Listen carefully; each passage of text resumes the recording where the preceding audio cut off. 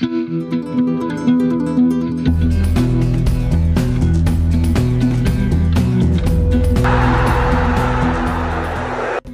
Football की दुनिया से आपको ताज़ा तरीन अपडेट से आगाह करते चलें कि सऊदी अरब में जारी फुटबॉल की सऊदी प्रो लीग का गुजशत रात का मैच, अल नसर और अल वहदा के दरमियान खेला गया।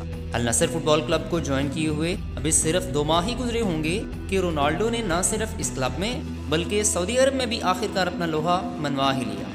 रात के मैच में क्रिस्टियानो रोनाल्डो की तबाहकुन कारकर्दगी और मुकम्मल मैच की हाइलाइट्स और अहवाल जानने के लिए हमारे साथ जुड़े रहिए और वीडियो को लाइक करें और शेयर कर दें। और अगर आप हमारे चैनल पर नए हैं तो चैनल को सब्सक्राइब भी कर दें और घंटी के बटन को भी दबा दें। तो दोस्तों, मैच का अहवाल कुछ यूँ है कि मैच के आगाज़ से ही अल नसर का पलड़ा भारी रहा। आठवें ही मिनट में अल नसर की जानब से गरीब ने एक उमदा शॉट लगाया, लेकिन वहदा के गोलकीपर अतिया ने उसे रोक लिया। अगले दस मिनटों में क्रिस्टियानो रोनाल्डो ने दो बेहतरीन शॉट्स लगाए, लेकिन वो दोनों शॉट्स भी बेसूद गए।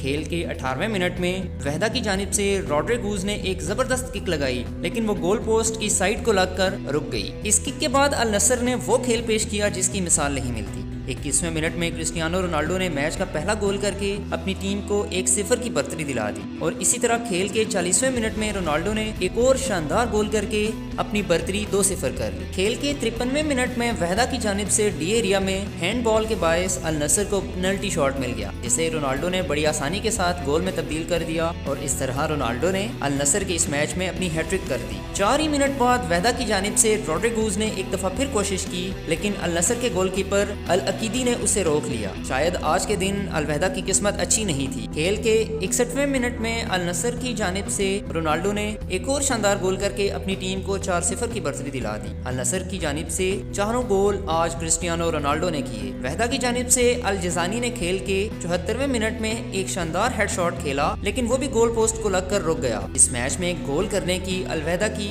शायद ये आखिरी कोशिश थी। अल नसर ने यह मुकाबला चार सिफर से अपने नाम किया। क्रिस्टियानो रोनाल्डो की इस शानदार कारकर्दगी पर स्टेडियम में मौजूद शायकीन ने ज़बरदस्त तरीके से उन्हें खराज तहसीन पेश किया